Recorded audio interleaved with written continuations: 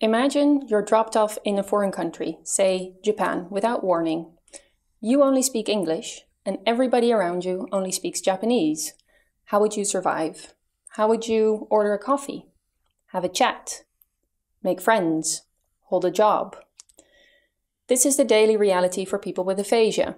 Aphasia is a language impairment often caused by stroke, which is a disruption of blood flow to the brain. It affects a person's ability to speak, write, read, and understand what somebody is saying to varying degrees. This can range from having difficulty finding a word every now and then and understanding almost everything, to being unable to say any words and understanding very little. Now, we've gotten very good at describing different aphasia types based on their language skills, as measured by language tests, such as picture naming or matching a sentence with the right image. Ultimately, though, speech and language therapy aims to improve someone's ability to communicate, to have a conversation. The problem is, is that we don't really understand the concept of communication very well, nor do we know exactly what kind of skills are required to communicate efficiently. So remember I told you you don't speak or understand Japanese? You'd score pretty badly on a test of your Japanese language skills, right? Yet I predict that you'd still be able to order a cup of coffee and have a chat with someone in Japan.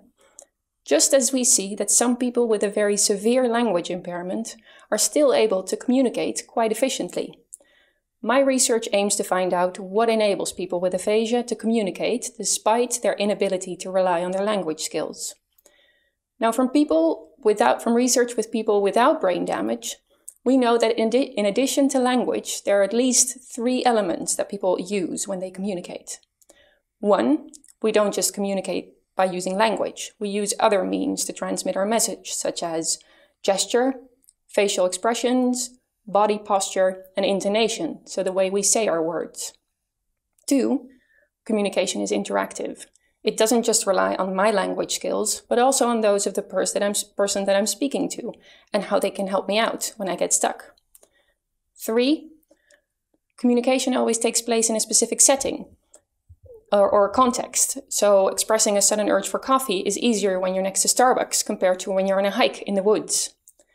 By manipulating these three elements in the lab, I want to find out if people with aphasia can rely on these elements just like we do in our everyday conversations, or if it's different for them due to their brain damage. By getting a better idea of what communication means, instead of just language skills, this can inform our therapies, our measures of communication, and hopefully help those who struggle to communicate every single day.